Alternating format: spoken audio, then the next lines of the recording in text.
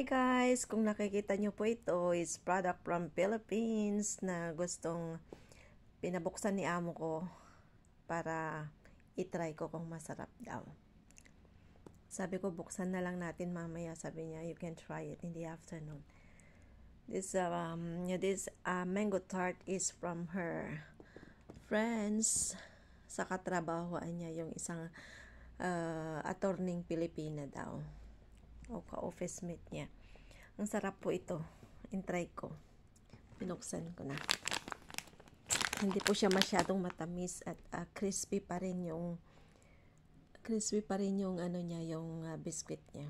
Ayan. From Philippines siya pang nagbigay sa akin. Ano. I like it. Proud Philippines!